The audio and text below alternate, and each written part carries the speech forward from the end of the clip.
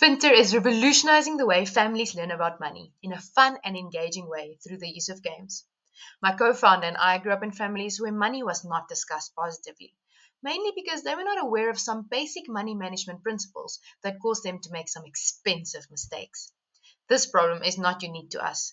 In 2022, a lack of financial literacy cost Americans $500 billion. The good news is we're here to help the next generation avoid these expensive mistakes. Starting, starting as early as possible is imperative, as research by Cambridge University shows that by age 3, your kids can grasp basic money concepts, and by age 7, many of their money habits are already set.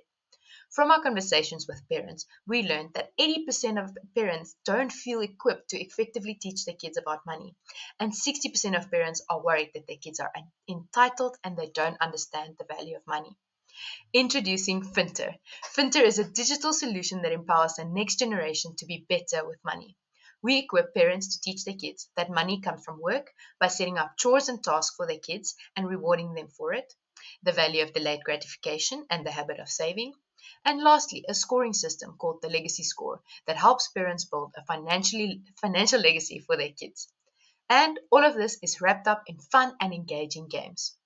Our potential market size is $36 billion globally, and targeting the 350,000 learners in private schools in South Africa, our early adopter market is $1.8 million. We are currently working on a subscription model, targeted at families with uh, kids aged 3 to 18 years old who attend private schools. Future alternative revenue models include commissions and licensing fees. Our biggest competitive advantage is the use of game based learning, our legacy score, and our holistic family centered learning approach. To get to this point, Fundamentals, the parent company of Fintr, has been intentional about understanding the problem, and in the process, we've already developed five financial literacy products, among other things. In April, we launched our Fintr Early Adopter program, and since then, we have doubled our paying clients every month. We currently have 12 families with 24 kids and a monthly recurring revenue of just over 8,000 Rand.